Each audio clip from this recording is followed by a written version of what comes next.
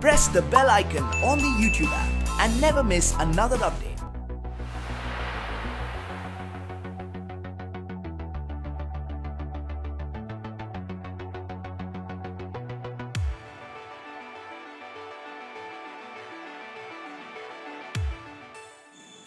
Hello viewers आज मैं नरगसी कोफ्ते बना रही हूँ जिसके लिए मेरे पास चिकन कीमा आधा किलो है और मैंने अंडे बॉईल किए हुए हैं मैं अब इसको, कीमा तो मैंने वहाँ से कराया हुआ है। अब मैं इसको फिर दोबारा बीट कर रही हूँ फाइन कीमा बनने के लिए। मैंने कीमे को धो के रखा हुआ है, अच्छी तरह पानी निकाल के रखा हुआ है। अब मैं इसमें मसाला बनाऊँगी, वो तो मैं आगे बताती जाऊँगी आपको।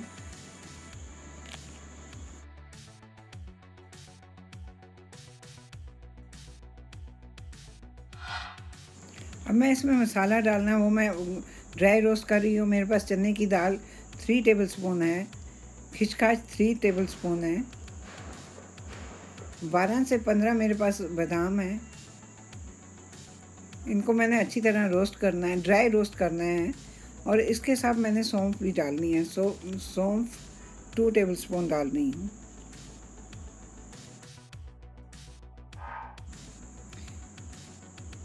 टू टेबल स्पून मैंने इसमें सौंफ डाल दी। इसको रोस्ट करना है, तब तक जब तक इसकी स्मेल ना आए, खुशबू ना आए। पाँच, दो मिनट, तीन मिनट के लिए इसको रोस्ट कीजिए।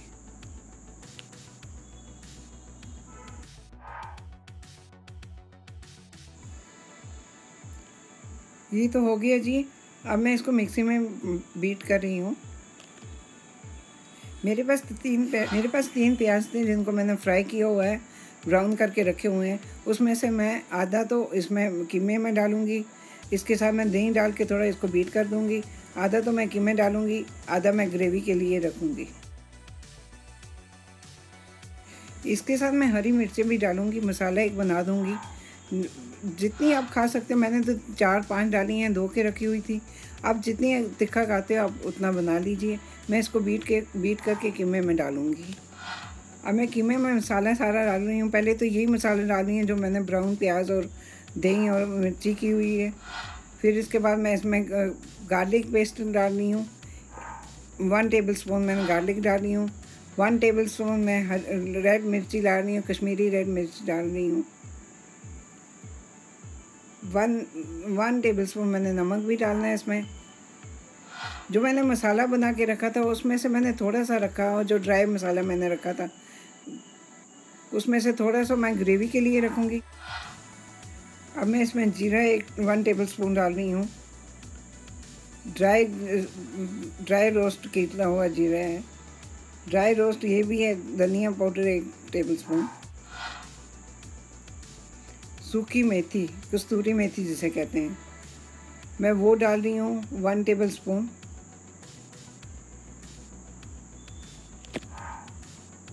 और मैं इसे बीट कर रही हूँ, बस। वक्त, मैंने बीट करते वक्त इसमें थ्री टेबल स्पून ऑयल भी डाला है। ये देखिए, ये तो बीट हो गया पूरा। बिल्कुल फाइन पेस्ट बन गई है इसकी। अब मैं इसको हाथ में उठाऊँगी। और एक रोटी की तरह बना दूँगी। सबसे पहले तो मैं कोफे, कोफ्ते का ही काम कर रही हूँ। मैं रोटी की तरह इसको बना लूँगी। इसमें मैं अंडा डालूँगी एक पूरा। ये पहले मैं आपको एक अंडा डाल के बताऊँगी। पूरा अंडा डाल के बताऊँगी कि कैसे बनते हैं। ये बड़े साइज़ का बनता है। ये देखिए। पूरा इसको राउंड कीजिए। राउंड करते बॉल बनाइए, जिससे ये पूरा गोल हो जाएगा और इस टूटेगा नहीं मतलब बीच में से निकलेगा नहीं। अब मैं दूसरा भी बना रही हूँ आपको बताती हूँ कई बार ऐसा होता है कि कई लोग बड़ा पूरा अंडे वाला नहीं खाते हैं। तो मैं उसमें उसके लिए मैं एक हाफ़ एग बना रही हूँ। ये देखिए ऐसे काटिए उसे। ये काट के रोटी बनाइए।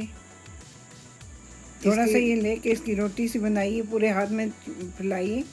और फिर देखिए इसे ऐसे डालना जो इसका येलो पीस है, वो अंदर की तरफ़ डालिए और ऊपर से कवर कर लीजिए। ये भी पूरा वैसे ही शेप बनेगा, सिर्फ़ ये होगा कि साइज़ थोड़ा इसका छोटा होगा।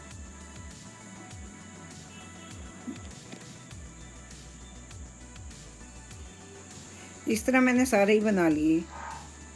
अब मैं इनको फ्राई करूँगी। जिस प्या, जिस, मैंने ऑयल तो गर्म रखा हुआ है, क्योंकि इसमें मैंने प्याज पहले फ्राई किए हुए थे। जिस, उसी ऑयल में मैं ये फिर फ्राई कर रही हूँ इनको। इसको थोड़ा थोड़ा फ्राई करना है।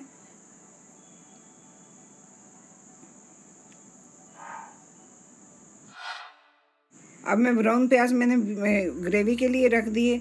मैं आपको ग्रेवी का बाकी मसाला बता रही हूँ। मेरे पास गार्लिक है, प्याज दो हैं जिनको मैंने क्रश किया हुआ है। धनिया पाउडर, जीरा पाउडर, नमक, हल्दी और लाल मिर्ची है, कस्तूरी मेथी, सौंफ है।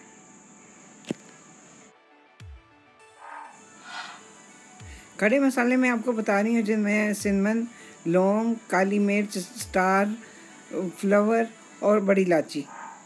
इनको मैंने बीट करके रखा तीन टमाटर हैं। मैंने उनको क्रश करना है। ये देखिए बस ये कैसे कलर इनका होगा ज़्यादा इसको ज़्यादा लाल नहीं कीजिए। बस ये तो मेरे हो गए सारे कोफ्ते। हाँ जी ये हो गए। अब मैंने जो मेरे पास टमाटर है मेरे पास चार टमाटर हैं। मैंने एक और डाला था। इनको अब मैं बीज निकाल के ये पूरा निकाल के तो मैं इनको बीट करूँ। इनकी पेस्ट बनाऊँगी।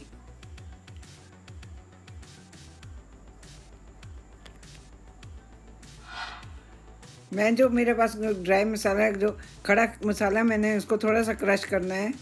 तो फिर इसके साथ मैं मैं इसको फ्राई करूँगी। जो खड़ा मसाला है इसको मैं थोड़ा सा क्रश करके तेल में फ्राई करूँगी। ये मेरा तेल, वही तेल गर्म हो रहा है, गर्म है। तो अब इसमें ड्राई मसाला तो मैंने डाल दिया। अब इसके बाद मैं इसमें प्याज डालूँगी, जो मैंने बीट किया हुआ है।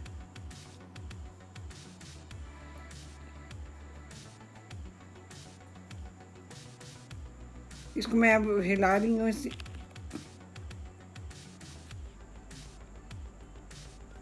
ये इतनी देर फ्राई कीजिए जितनी देर ये लाल ना हो जाए। ये देखिए, ये लाल हो रहा है। अब मैं इसमें लहसुन डाल रही हूँ। इसको भी मैंने थोड़ी देर फ्राई करना है। इसका ऑयल सेपरेट हो रहा है। अब मैं इसमें सारे मसाले डालूँगी। रेड मिर्ची, one and half tablespoon. हल्दी, हाफ़ टेबल स्पून। नमक वन टेबल स्पून। जीरा पाउडर मैं डाल रही हूँ इसमें। One and half tablespoon धनिया one and half tablespoon अब इसको मैं थोड़ा सा हिला के सौंफ में साबित डाल रही हूँ उसमें।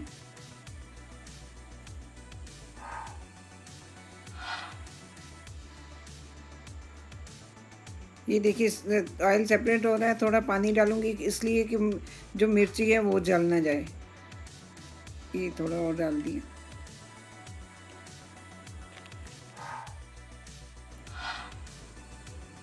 अब इसका ऑयल तो सेपरेट हो रहा है, इसके बीच में मैंने जो टमाटरों की पेस्ट बनाई थी वो डाल दी है। अब मैंने इसको फ्राई करना अच्छी तरह, इतनी देर फ्राई करना जितनी देर इसका ऑयल और सेपरेट ना हो जाए।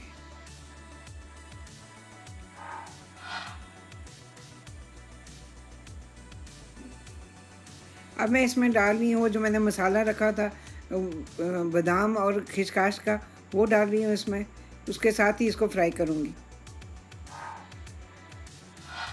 ये देखिए ऑयल तो सेपरेट हो रहा है और थोड़ी देर इसको फ्राई करूँगी। अब मेरे पास थोड़ा दही था थ्री टेबल स्पून मेरे पास दही था। वो मैंने जो उसमें से बचा था वो डाल दिया और मैंने जो ब्राउन प्याज रखे थे वो भी मैंने इसमें पेस्ट बना के डाल दी। अब मैं थोड़ी कस्तूरी मेथी भी डालूँगी इसमें। उसके साथ इसको फ्राई करूँगी अच्छी तरह।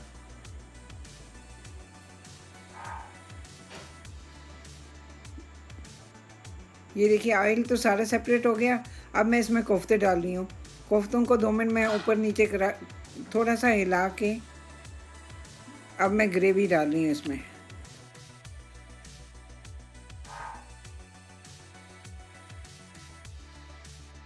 मैंने ग्रेवी तो पानी तो डाल दिया, मैंने इसको कवर करके रखा था। थोड़ी देर, देखिए अब इसकी ग्रेवी कितनी थिक हो गई है। देखिए इसका ऑयल कैसे ऊपर आ गया है। ये जो मैंने फ्राई किया था, उसके साथ इसका सारा ऑयल वापस आया हुआ है। हाँ जी, मेरी डिश तो तैयार हो गई, मैंने डिश आउट कर दी है। अब ये ज़रूर बनाइएगा। मेरे चैनल को लाइक कीजिए सब्सक्राइब कीजिए कमेंट्स लिखिए शेयर ज़रूर कीजिए।